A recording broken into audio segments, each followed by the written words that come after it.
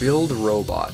Another early machine Borg, he's not only a decent all-round Borg, but also has advantage as a support type. His ranged B attack fires off dual beam lasers.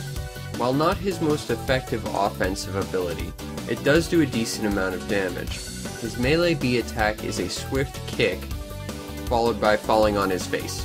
And while comical, it does an impressive amount of damage, as well as sending his opponent flying. His X ability is what makes him so special as a support type. He will throw out a large barrel directly in front of him.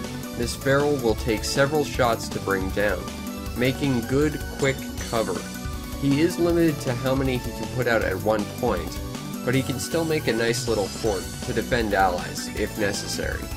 And because of this, he's always a useful ally to see on the battlefield, both in combat and as support.